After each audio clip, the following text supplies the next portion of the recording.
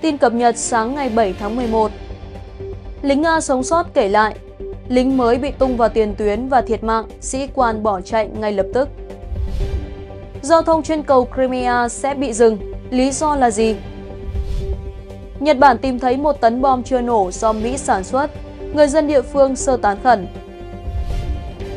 Elon Musk nói, tôi là một người ngoài hành tinh đang cố gắng trở về hành tinh của mình. Tại sao kết quả bầu cử của Hoa Kỳ luôn gây bất ngờ và năm nay có thể sẽ thế nào? Bloomberg dự đoán, chuỗi cung ứng toàn cầu sẽ trở lại bình thường vào tháng 3 năm sau. Hơn 7.000 người Hồi giáo Duy Ngô Nhĩ bị trừng phạt vì đọc kinh Koran tại nhà trong thời gian dịch bệnh. Thu Lâm xin trân trọng chào đón quý vị cùng đến với bản tin cập nhật sáng thứ hai ngày 7 tháng 11 của Deccan News. Kính chúc quý vị bắt đầu một tuần làm việc mới với thật nhiều sức khỏe và bình an. Tiếp sau đây xin mời quý vị cùng đến với các nội dung chi tiết.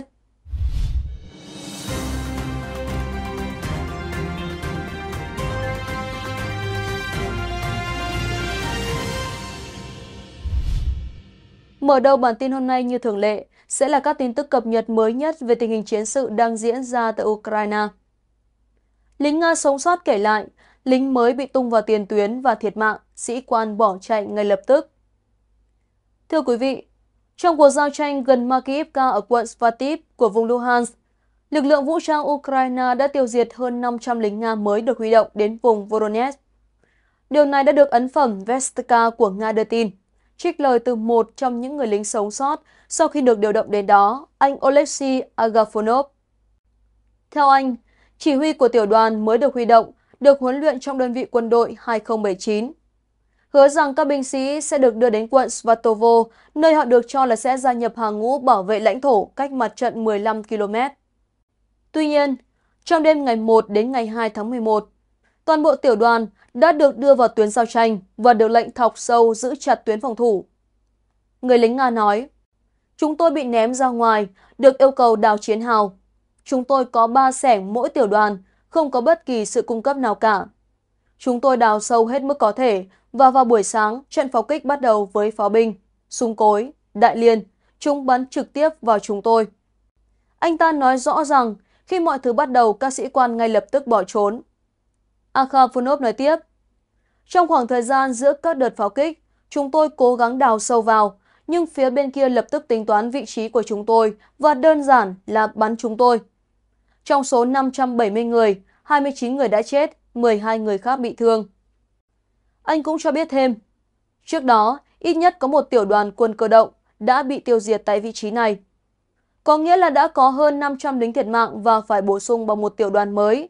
Agafonov nói rằng anh đã nhìn thấy hàng chục xác chết. Giao thông trên cầu Crimea sẽ bị dừng. Lý do là gì? Các nhà chức trách thuộc chính quyền chiếm đóng Nga ở Crimea đã thông báo đóng cửa cầu Crimea.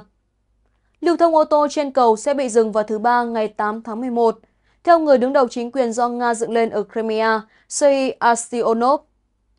Thông báo cho biết, vào ngày 8 tháng 11 năm 2022, từ 4 giờ sáng đến 4 giờ chiều, việc di chuyển của ô tô trên cầu Crimea sẽ bị dừng lại do các công trình kỹ thuật, thông báo cho biết. Đồng thời, những người chiếm đóng khuyến nghị rằng các xe tải đi Crimea đến các nơi khác của Nga và quay trở lại nên chọn tuyến đường qua các vùng lãnh thổ mới của Liên bang Nga, tức là đi qua các vùng lãnh thổ bị chiếm đóng của Ukraine là Zaporizhia và Kherson. Đây là lần đầu tiên Nga đóng cửa giao thông trên cầu Crimea sau khi một vụ nổ xảy ra vào ngày 8 tháng 10. Theo thông báo chính thức của cơ quan chức năng, một thùng nhiên liệu đã bốc cháy trên cầu đường sắt. Tiếp theo là một thông tin tới từ Nhật Bản. Nhật Bản tìm thấy một tấn bom chưa nổ do Mỹ sản xuất, người dân địa phương sơ tán khẩn. Kính thưa quý vị, một quả bom chưa nổ nặng một tấn được phát hiện trong khuôn viên mới của một trường đại học ở Osaka, Nhật Bản. Chính quyền thành phố này đã kêu gọi người dân gần đó sơ tán khỏi nhà và tiến hành kiểm soát giao thông. Cuối cùng, lực lượng phòng vệ mặt đất đã hoàn thành thuận lợi việc phá rỡ bom. NBS News của Nhật Bản đưa tin, quả bom chưa nổ có chiều dài khoảng 180cm và đường kính khoảng 60cm, nặng khoảng 1 tấn, là một quả bom do Mỹ sản xuất.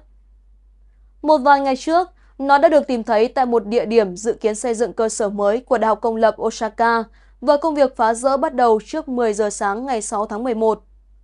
Để tránh xảy ra tai nạn trong quá trình phá rỡ, chính quyền thành phố Osaka đã chỉ định khu vực trong bán kính 300 mét tính từ vị trí quả bom chưa nổ làm khu vực kiểm soát, cấm mọi người ra vào từ 8 giờ ngày 6 tháng 11.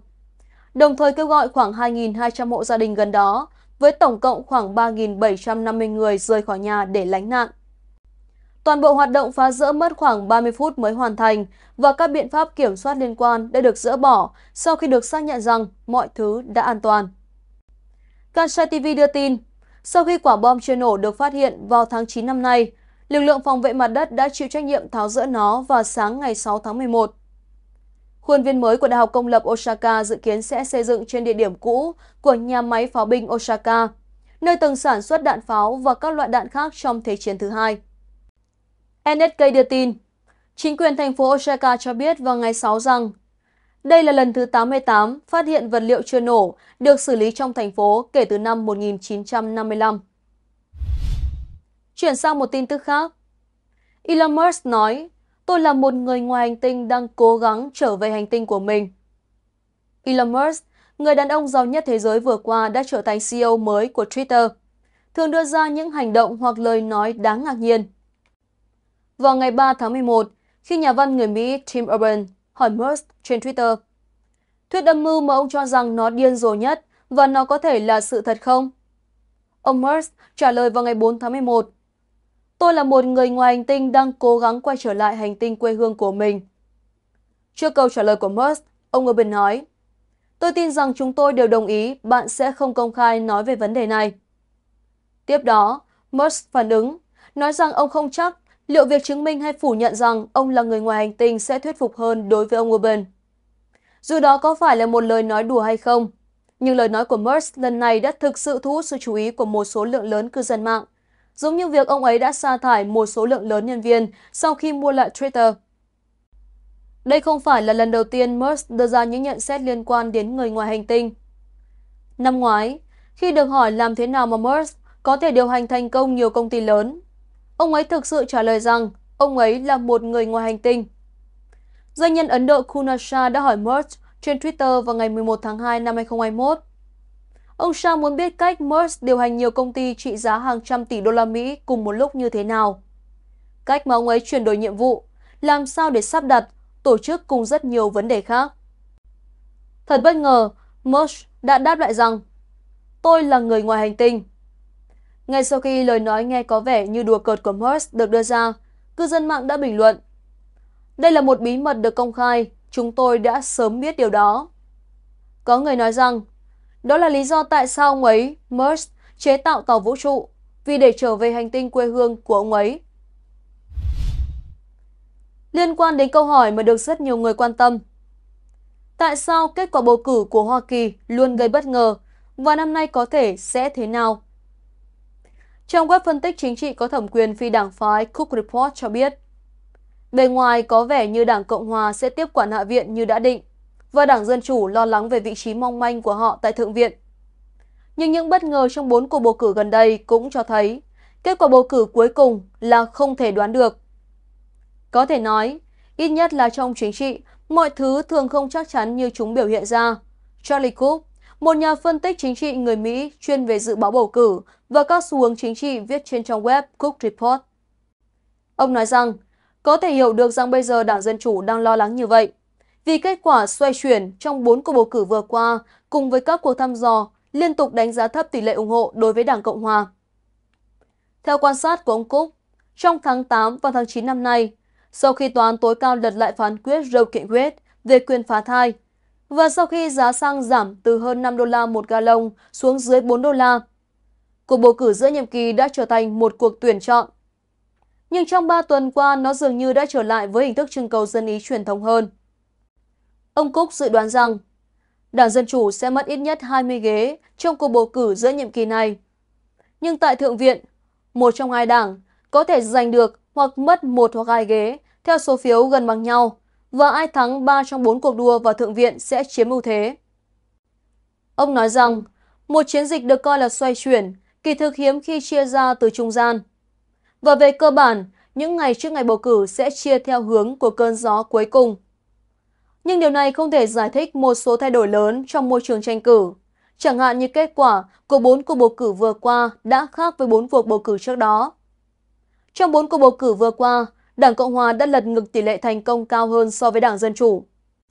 Trong những ngày trước cuộc bầu cử Tổng thống năm 2016, thất bại của ông Donald Trump dường như gần như là chắc chắn. Nhưng ông đã giành chiến thắng trước bà Hillary Clinton ở các tiểu bang Michigan, Pennsylvania và Wisconsin với tổng số 77.736 phiếu bầu. Vào năm 2020, ông Biden đã giành được nhiều phiếu bầu hơn ở các bang quan trọng như Pennsylvania, Wisconsin, Arizona và Georgia để đắc cử tổng thống.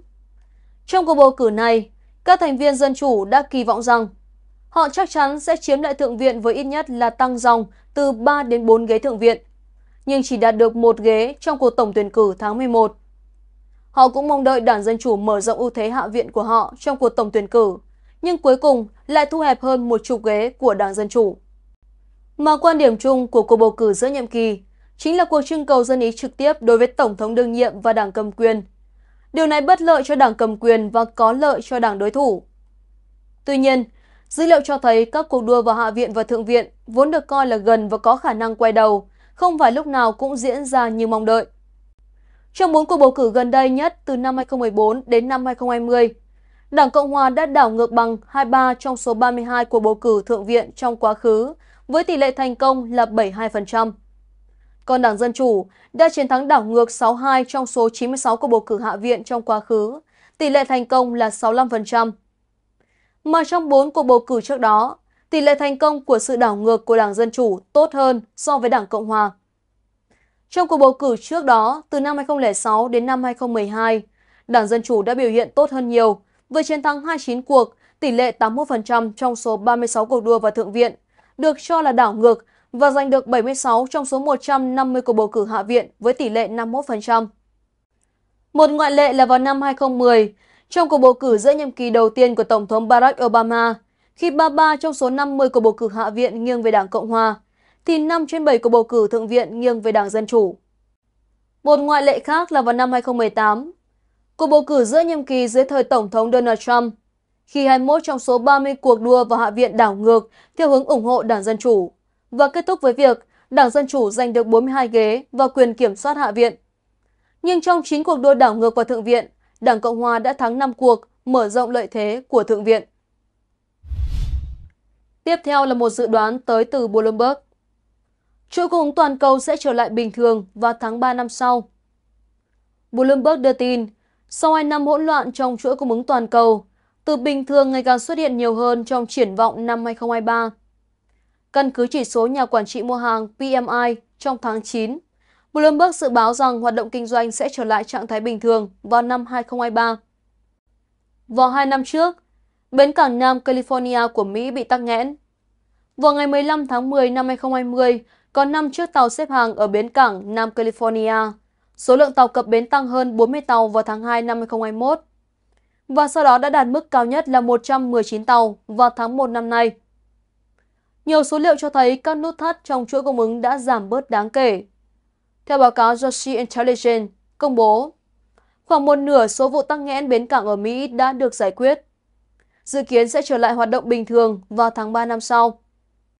Các chỉ số thương mại của Kiel tại Đức và dữ liệu từ doanh nghiệp quốc tế CUNY, Nature International của Thụy Sĩ cũng chỉ ra rằng tình trạng tắc nghẽn bến cảng ở châu Âu đã dần được cải thiện Thời gian chờ giao hàng cũng như giá sản xuất do Bloomberg tổng hợp cũng đã giảm từ mức cao nhất sau khi đạt đỉnh vào tháng 2. Bloomberg chỉ ra, tuy nhiên điều này không có nghĩa là mọi thứ trong nền kinh tế toàn cầu sẽ hoạt động tốt trong tương lai. Các doanh nghiệp vẫn đang trong tình trạng thiếu linh kiện và nhân công. Chuỗi cung ứng mỏng manh cũng sắp đáp ứng được nhu cầu cao vào thời điểm cuối năm. Chuỗi cung ứng toàn cầu Global Supply Chain dùng để chỉ một chuỗi cung ứng được tập hợp trên quy mô toàn cầu. Các thành viên của chuỗi cung ứng được phân bố ở khắp nơi trên thế giới. Hoạt động của nó là thu mua nguyên liệu sản xuất, tổ chức sản xuất sản phẩm, tiêu thụ hàng hóa và thu thập thông tin. Chuỗi cung ứng diễn ra và thực hiện trên quy mô toàn cầu. Tuy nhiên, World Street Journal cho rằng chuỗi cung ứng toàn cầu có thể không bao giờ trở lại như xưa.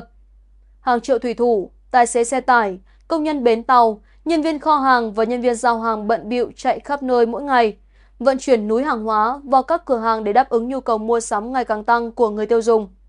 Nhưng các hệ thống phức tạp làm cho hiệu quả hoạt động hậu cần trong nền kinh tế toàn cầu yếu ớt hơn nhiều so với tưởng tượng của nhiều người. Đại dịch virus corona đã bộc lộ những điểm yếu trong chuỗi cung ứng toàn cầu và cuộc khủng hoảng về cơ bản có thể buộc người tiêu dùng phải thay đổi kỳ vọng của họ về việc có sẵn hàng hóa. Hơn 7.000 người Hồi giáo Duy Ngô Nhĩ bị trừng phạt vì đọc kinh Koran tại nhà trong thời gian dịch bệnh. Thưa quý vị, Đại hội Duy Ngô Nhĩ Thế giới tiết lộ với RFA rằng trong 3 tháng qua, hơn 7.000 người Duy Ngô Nhĩ đã bị phạt vì đọc kinh Koran ở thành phố Hoten và Kashgar thuộc khu tự trị Tân Cương, và hơn 80 người trong số họ đã bị giam giữ. Nhiều nơi trong khu tự trị Tân Cương đã bị phong tỏa trong vài tháng, và nhiều người Hồi giáo dân tộc thiểu số đã bị cảnh sát xử phạt vì tham gia vào các hoạt động tôn giáo trong thời gian phong tỏa.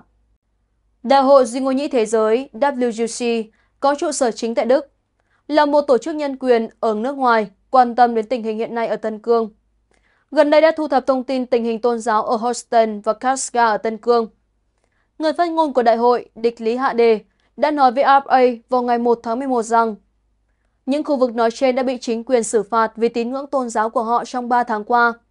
Ông nói, trong 3 tháng qua, hơn 7.000 người Duy Ngô Nhĩ đã bị chính quyền Trung Quốc buộc tội tham gia vào các hoạt động tôn giáo bất hợp pháp vì làm lễ, nhà thờ tại nhà, cầu nguyện và đọc kinh Koran trong thời gian xảy ra dịch bệnh, bị xử phạt giáo dục từ 50 đến 5.000 nhân dân tệ. Ông Địch Lý Hạ Đề nói tiếp, những người bị xử phạt bao gồm phụ nữ, trẻ em, thanh thiếu niên cho đến người cao tuổi. Hơn 80 người khác đã bị chính quyền giam giữ với tội danh lợi dụng mạng xã hội để truyền bá thông tin tôn giáo bất hợp pháp trong thời gian dịch bệnh. Chính quyền của hai địa phương trên đã phối hợp tổ chức cái gọi là tình nguyện viên, bao gồm lực lượng an ninh quốc gia, an ninh công cộng và lực lượng duy trì ổn định và các cơ quan công an, cùng với các nhân viên chống dịch để tiến hành xét nghiệm axit nucleic, đồng thời cưỡng chế đột nhập vào nhà dân ở những địa phương bị phong tỏa, theo dõi và kiểm tra, tịch thu tài sản của người Duy Ngô Nhĩ. Họ thu giữ một số lượng lớn sách tôn giáo mà họ nói là tàng trữ trái phép như Kinh Koran và các vật phẩm liên quan khác như thảm cầu nguyện. Vì vậy, mọi người đều sợ rằng những tình nguyện viên này sẽ đột nhập vào nhà của họ với lý do xóa sổ COVID bất cứ lúc nào. Cảnh sát ở Houston và Kastga nói, không cho phép đọc kinh Koran. Phóng viên của FA đã gọi cho văn phòng cảnh sát huyện Houston về việc này, nhưng không ai trả lời. Khi một cảnh sát tại đồn cảnh sát Anh Ngải Nhật khác thuộc văn phòng cảnh sát huyện Houston được một phóng viên hỏi thăm, anh ta nói rõ rằng King Koran không thể được đọc tại nhà. Cảnh sát Alo, đồn cảnh sát Anh ngài Nhật khác. Phóng viên Đồn cảnh sát Anh ngài Nhật khác Xin hỏi một chút, tôi có thể đọc King Koran ở nhà không? Cảnh sát, không được. Phóng viên, xin hỏi, tại sao tôi không được đọc? Cảnh sát chuyển hướng chủ đề. Hiện tại tôi không có ở nhà. Phóng viên đã gọi điện cho cảnh sát tại sở cảnh sát Khaptat thuộc đồn cảnh sát Karska để hỏi xem có ai bị giam giữ vì đọc kinh Koran hay không. Cảnh sát nhấc máy trả lời rằng đọc kinh Koran ở nhà thì tùy tình huống xử lý, nếu không phải là phạt tiền thì cần xét duyệt lại. Phóng viên, có phải là xét tạm giam không? Cảnh sát, à, nó phụ thuộc vào tình huống và xem liệu kinh Koran là chính thống hay cực đoan hay là của bản thân người đó. Phóng viên, xin hỏi, nghe nói có người bị bắt đúng không? Ba tháng qua có một số người bị bắt. Nhân viên cảnh sát, không trả lời trực tiếp. Cô là ai? Phóng viên, tôi là một phóng viên và tôi muốn biết bên kia liền cúp máy. Trả lời phỏng vấn AFA, người sáng lập tổ chức nhân quyền người Kazakhstan Serikjan Bilas nói rằng những người Hồi giáo thiểu số ở Trung Quốc không được phép học kinh Koran tại nhà. Hoàn toàn không được phép. Trên thực tế, các quan chức địa phương của họ nói rằng cho dù bạn có tín ngưỡng tôn giáo, nhưng trong cuộc sống thực tại, hễ mà có bất kỳ hoạt động nào theo cách của người Hồi giáo, người đó sẽ bị trừng phạt. Bây giờ, họ đã từ bỏ cách chôn cất của người Kazakhstan. WGC mong ông Olaf Scholz đến thăm Trung Quốc để giúp đỡ người Duy Ngô Nhĩ ở Trung Quốc. Ông Địch Lý Hạ Đề cho biết, trong quá trình thực hiện chính sách phong tỏa thành phố của Trung Quốc, nhiều người dân Ngô Nhĩ đã bị thiếu hụt nghiêm trọng nguồn cung cấp sinh hoạt cơ bản như thực phẩm và thuốc men, và một số cư dân phải tìm kiếm sự giúp đỡ từ ngoại giới thông qua mạng xã hội trực tuyến. Hơn 20 người Duy Ngô Nhĩ được biết là đã chết vì bệnh tật, đói khát hoặc không được chăm sóc y tế.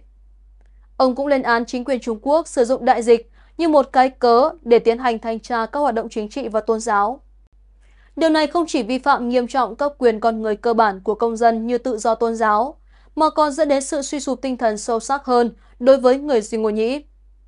Ông kỳ vọng ở Thủ tướng Đức Olaf Scholz, người sắp thăm Trung Quốc, hay thúc giục Trung Quốc chấm dứt ngay các biện pháp tàn bạo, cưỡng bức lao động và diệt chủng đối với người Duy Ngô Nhĩ. Thưa quý vị, mục tin cập nhật của DKN News đến đây xin phép được tạm dừng. Quý vị có thể đăng ký email để nhận thông báo về các bản tin quan trọng hàng ngày của DKN News. Quý vị cũng có thể theo dõi kênh DKN News trên Snapchat, một mạng xã hội bảo mật và tôn trọng người dùng. Cảm ơn quý vị và các bạn đã quan tâm theo dõi chương trình. Thu Lâm xin kính chúc sức khỏe và hẹn gặp lại quý vị trong các chương trình tiếp theo.